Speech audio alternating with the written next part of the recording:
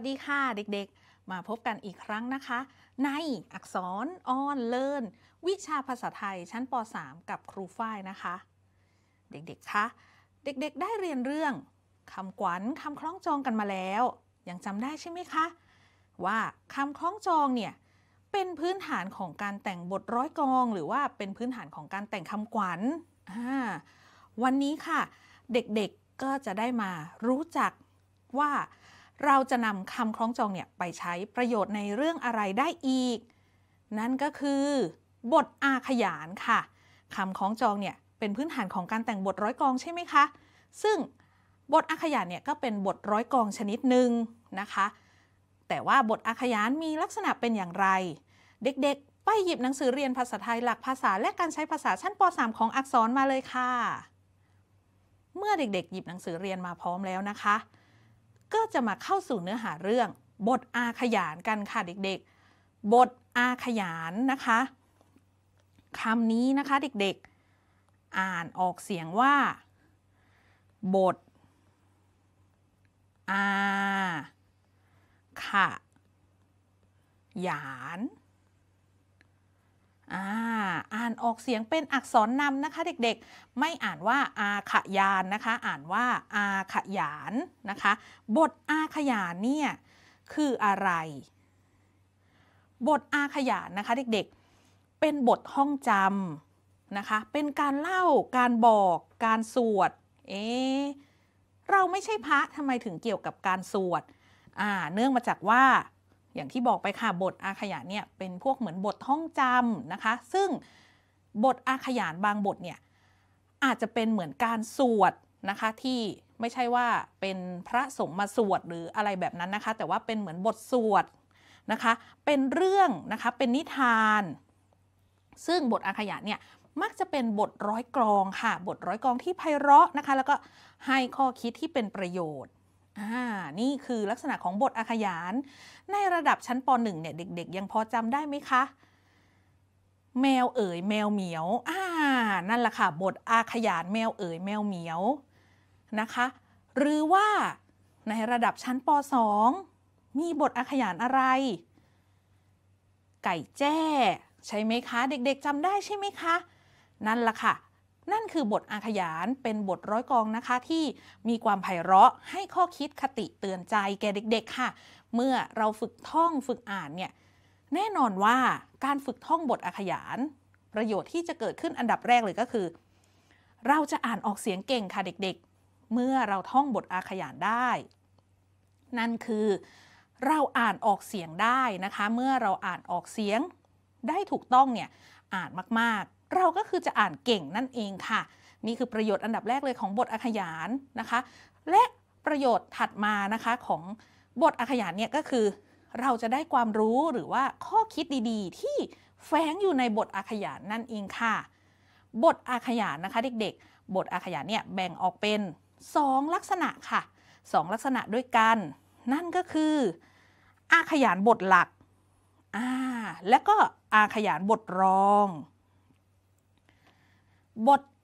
อาขยานบทหลักนะคะเด็กๆ ก็คือเป็นอาขยานที่เด็กๆเนี่ยควรจะต้องท่องจำให้ได้นะคะเป็นหลักเลยเป็นหลักที่เด็กๆ ทั่วประเทศเนี่ยควรจะต้องท่องจำให้ได้เหมือนเหมือนกัน ส่วนอาขยานบทรองเนี่ยนะคะแต่ละโรงเรียนนะคะแต่ละพื้นที่ของเด็กๆเนี่ยอาจจะเลือกบทอาขยานนะคะกันเองขึ้นมาก็ได้นะคะ อาจจะเด็กๆ ร่วมกันเลือกนะคะ แล้วก็โรงเรียนก็ตกลงใจว่าอ่าเราจะเลือกบทร้อยกองที่ไพเราะนี้นะคะ เป็นบทอาขยานบทรอง ซึ่งบทร้อยกองที่เด็กๆ หรือว่าทางโรงเรียนเนี่ยร่วมกันเลือกมาเนี่ยอาจจะเป็นวรรณกรรมหรือวรรณคดีที่มีอยู่ในท้องถิ่นของนักเรียนเองก็ได้ค่ะ แต่ว่าพอเป็นบทอาขยานบทหลักเนี่ยเด็กทั่วไปเลยค่ะ เด็กไทยทั่วไปเนี่ยก็ควรที่จะเรียนรู้แล้วก็ได้ฝึกท่องเหมือนเหมือนกัน ว่าแต่นี่นะคะ มีเพื่อนของเราค่ะถามค่ะว่า อาขยานบทหลักกับอาขยานบทรองคืออะไรคะาจากที่ครูอธิบายไปเมื่อสักครู่ มาตอบกันอีกสักครั้งหนึ่งค่ะ อาขยานบทหลักก็คือ อาขยานที่เด็กทุกคนจะต้องท่องเหมือนกันอ่าเหมือนกันไปหมดเลยค่ะ แมวเอ๋ยแมวเหมียวก็ท่องเหมือนกันทั้งหมดเลย แมวเอ๋ยแมวเหมียวกันไปหมดเลย แต่พอเป็นอาขยานบทรอง คืออาขยานที่คุณครูหรือว่าทางโรงเรียน เลือกให้เด็กๆท่องเพิ่มเติมนะคะ อย่างที่ครูบอกไปค่ะ ว่าเด็กๆเนี่ยอาจจะร่วมกันตกลงนะคะ เลือกบทอาขยานบทรองขึ้นมาเองนะคะ แล้วก็นำไปเสนอโรงเรียนก็ได้ค่ะ เพราะว่าในแต่ละท้องที่ในแต่ละท้องถิ่นเนี่ยอาจจะมี วรรณกรรม หรือว่าวรรณคดีที่มีในท้องถิ่น เฉพาะของท้องถิ่นตนเองนะคะ แล้วก็มีความไพเราะ ซึ่งเด็กๆที่อยู่ในท้องถิ่นนั้นก็อาจจะเลือกมาเป็นอาขยานบทรองก็ได้ค่ะ แล้วการท่องอาขยานมีเทคนิคอย่างไรอ่าครูมีเทคนิค การท่องอาขยานให้จำให้ได้ดีมาฝากค่ะเด็กๆ เทคนิค การท่องจำอาขยานให้จำได้ดีมีอะไรบ้าง ข้อแรกเลยนะคะ ท่องอาขยานทีละวรรคค่ะ ท่องอาขยานทีละวรรคอาขยานคือบทร้อยกองใช่ไหมคะ เด็ก ๆ ก็ค่อย ๆ ท่องจำทีละวรรคค่ะ ท่องทีละวรรคโดยเปล่งเสียงให้ดังพอประมาณ จนจำอาขยานได้ทั้งหมดค่ะเปล่งเสียงให้ดังพอประมาณ ไม่ตะโกนนะคะ แต่ว่าก็ไม่ใช่ ไม่ใช่กระซิบอย่างนี้ไม่ได้นะคะ เพราะว่าถ้ากระซิบเนี่ยเราก็วุ้งวิ่งวุ้งวิ่งอยู่แล้วก็อาจจะลืมไปได้ในที่สุด ให้เสียงดังพอประมาณค่ะ ท่องอาขยานทีละวรรคโดยเปล่งเสียงให้ดังพอประมาณ แล้วก็จำอาขยานได้ทั้งหมดค่อยๆ ท่องไปทีละวรรคค่ะ ข้อ 2 ค่ะสำคัญเลย ออกเสียงอาขยานที่ท่องให้ถูกจังหวะ การออกเสียงบทร้อยกองเนี่ยมีจังหวะวรรคตอนในการอ่านนะคะ ไม่ใช่ว่าอยู่ดีๆ เราท่องยาวพืดไปทีเดียวหมด ไม่ได้นะคะเด็กๆ ควรจะเว้นจังหวะวรรคตอนให้เหมาะสม การออกเสียงแล้วเว้นจังหวะวรรคตอนให้เหมาะสมเนี่ยจะช่วยให้เราจำได้ง่ายดียิ่งขึ้นค่ะ เด็กๆ ดูภาพตรงมุมนี้นะคะ ที่เพื่อนของเราออกเสียง เห็นเป็นจุดดำๆไหมคะ เห็นเป็นจุดดำๆแล้วก็มีเครื่องหมายทับขั้นอยู่นั่นก็คือถ้ามีเครื่องหมายทับนี้นะคะ ก็คือการเว้นจังหวะวรรคตอนค่ะเด็กๆ จากอันนี้นะคะ จุดดำเนี่ยแทนคำหนึ่งคำตรงจุดดำข้างบน ก็เท่ากับว่ามีคำสองคำ แล้วก็เว้นจังหวะนิดหนึ่งแล้วก็ไปอีกสองคำจุดดำข้างล่าง แถวที่สองเป็นสองคำเว้นจังหวะหนึ่งครั้งสามคำเว้นอีกทีหนึ่งแล้วก็ไปอีกสามคำเป็นลักษณะเช่นนี้นะคะเด็กๆ ต้องเว้นจังหวะวรรคตอนให้ถูกต้องค่ะ ออกเสียงดังพอประมาณ ออกเสียงทีละวรรคนะคะ แล้วก็เว้นจังหวะวรรคตอนให้ถูกต้อง ก็จะจำอาขยานได้ และการจำอาขยานอีก หลักเทคนิคการจำค่ะ ท่องให้ได้อารมณ์ค่ะ ต้องให้ได้อารมณ์ความรู้สึกตามเนื้อหาด้วยนะคะ เนื้อหาของอาขยานรู้สึกเศร้า แต่เราท่องด้วยโหความสดใสรื่นเริงมาก อันนี้เราอาจจะจำไม่ได้ก็ได้ เพราะว่าเราอยู่ในอารมณ์ที่รื่นเริงมาก แล้วก็ไม่ได้รู้สึกตามที่เนื้อหาของบทอาขยาน เขากล่าวไว้นะคะ และเทคนิคสุดท้ายค่ะ อันนี้เป็นเทคนิคสำคัญเลย ติดดาวไว้เลยค่ะ ฝึกท่องบ่อยๆ ค่ะ ฝึกท่องบ่อยๆ แน่นอนว่าเมื่อฝึกบ่อยๆ เราก็จะจำได้เองค่ะเด็กๆ อันนี้นะคะก็คือเทคนิคการท่องจำอาขยานให้จำได้ดีค่ะ ไม่ยากเลยใช่ไหมคะเด็กๆ หลักง่ายๆเลยนะคะ อ่านทีละวรรคค่ะ ค่อยๆ ค่อยๆ ท่องทีละวรรคเปล่งเสียงให้ดังพอพอประมาณ จากนั้นก็คือ ฝึกอ่านฝึกท่องเว้นจังหวะให้ถูกต้อง แล้วก็ฝึกท่องบ่อยๆ ค่ะ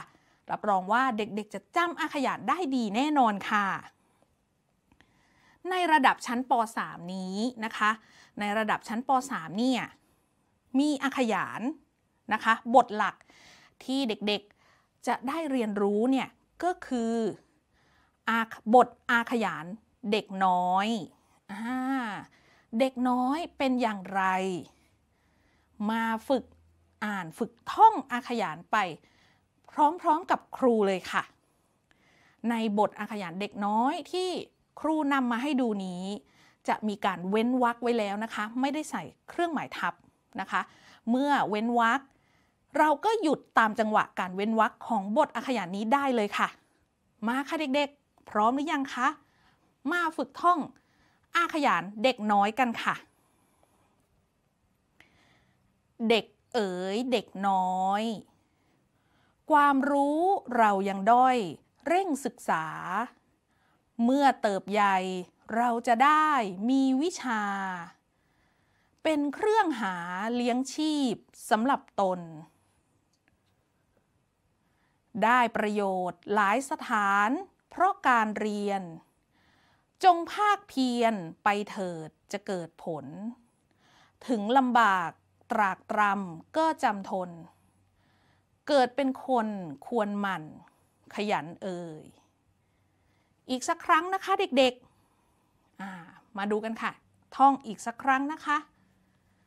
ท่องกันไปพร้อมๆกันเลยค่ะ เด็กเอ๋ยเด็กน้อย ความรู้เรายังด้อย เร่งศึกษา เมื่อเติบใหญ่เราจะได้มีวิชา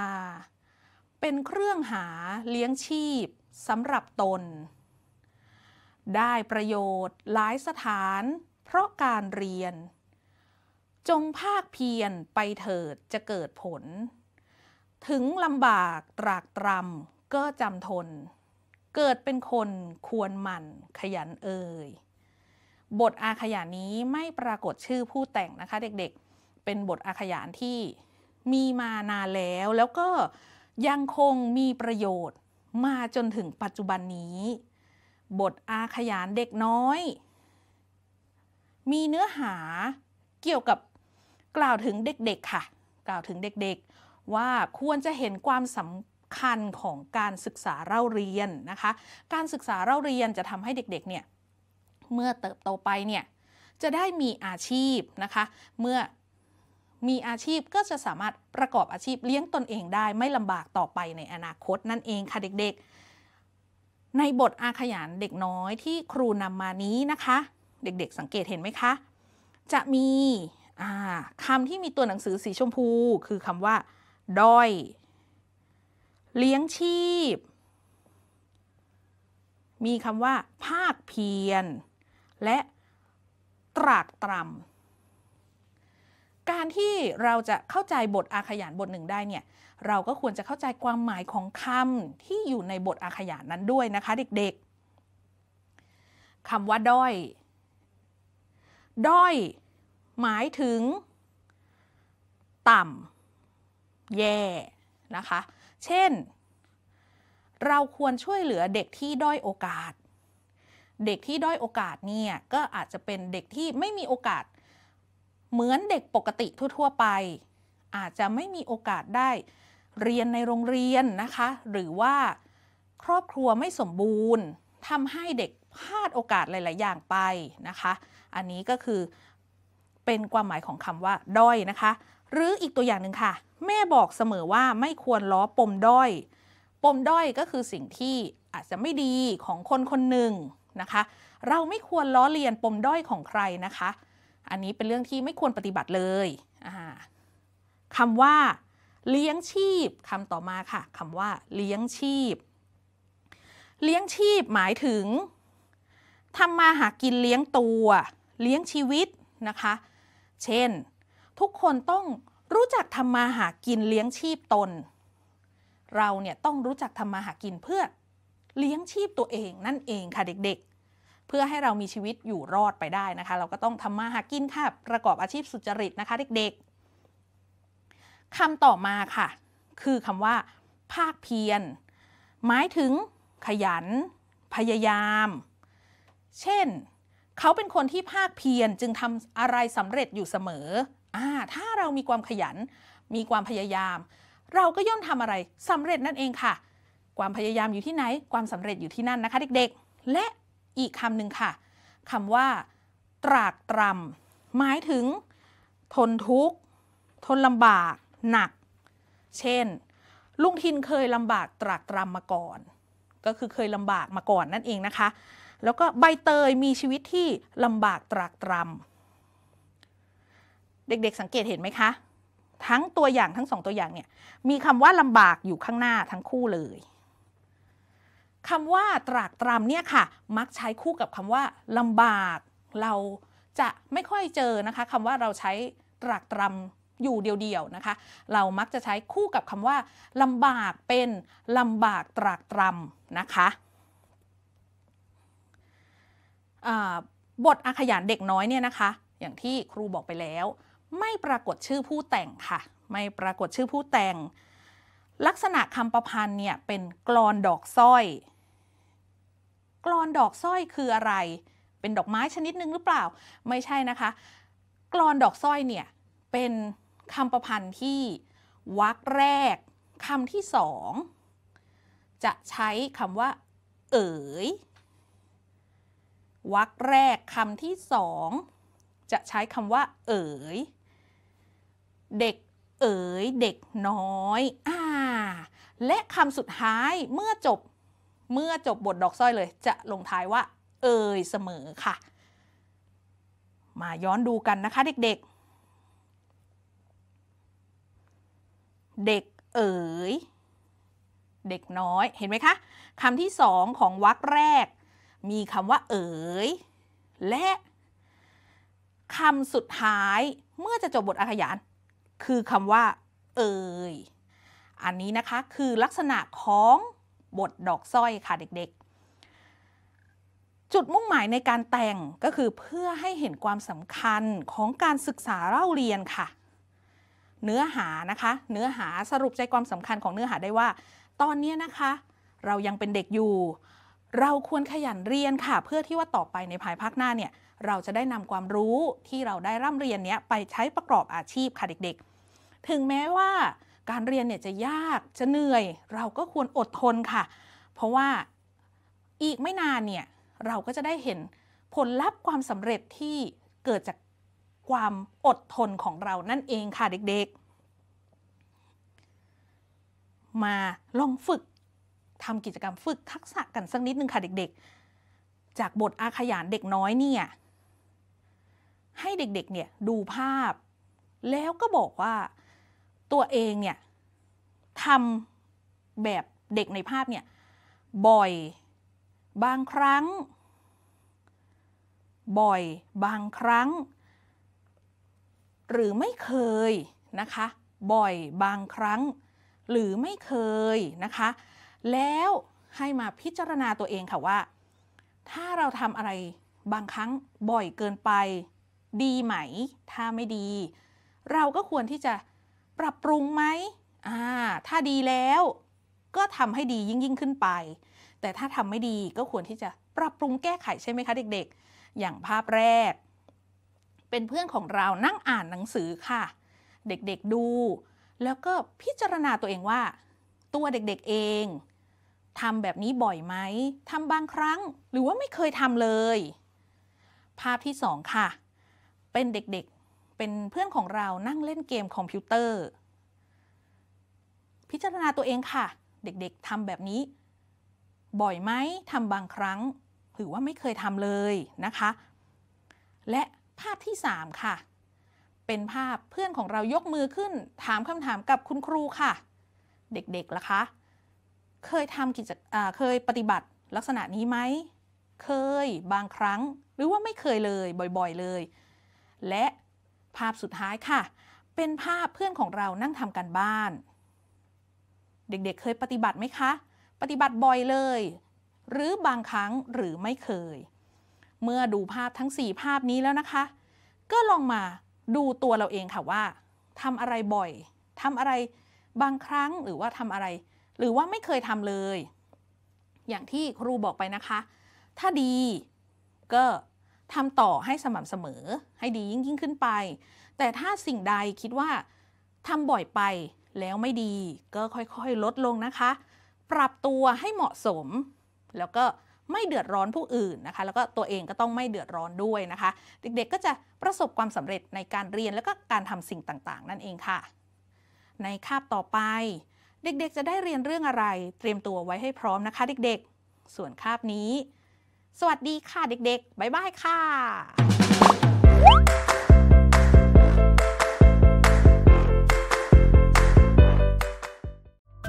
อย่าลืมกดติดตามและกดกระดิ่งเพื่อไม่ให้พลาดสาระความรู้ดีๆ จากพวกเราอักษร Education